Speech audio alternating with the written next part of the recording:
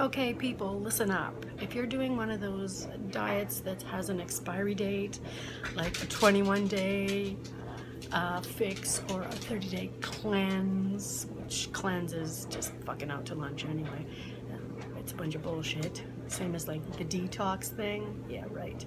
Just Google that shit. There's, that's what your liver and your kidneys for. You're just because you're uh, changing the way you eat, it's not gonna fucking detox anything in your body. Okay.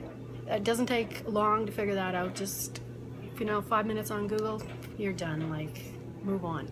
So if you have a doing a diet plan that has an expiry date, it's a fad, okay? It's it's not going to be sustainable, and it will not.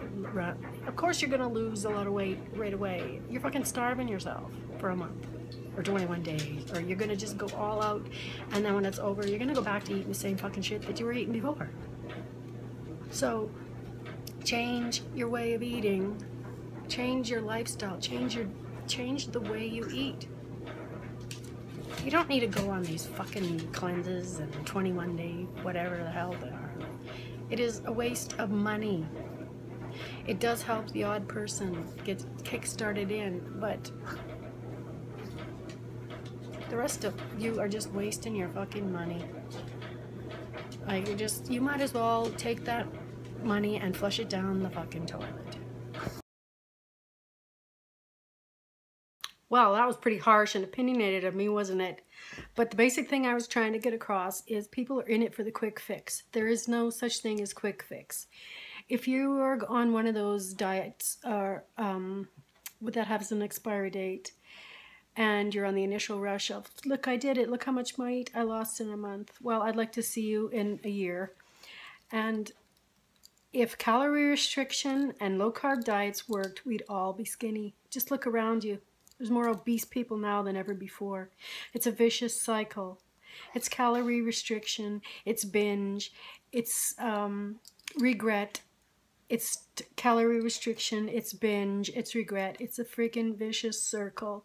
There is no instant um, gratification anymore. It's a slow, steady prog process. It takes time, it takes work. People don't want to work. They don't want to get off their fat asses and do something. And you have to. You have to exercise. You have to. At first, you might not be able to. Maybe you're so big that, like, I couldn't hardly do much at all. A little bit every day. No, if you can't do it even every day, do something. Progress, slowly progress. This instant it doesn't last. Look around you at all these people that are doing these cleanses and, and 30 day whatevers. They lose the weight and then they gain it all back plus more. And then they got to start all over again. It's a vicious fucking cycle. Don't get stuck in that cycle. Change your lifestyle and get off your ass. Go vegan.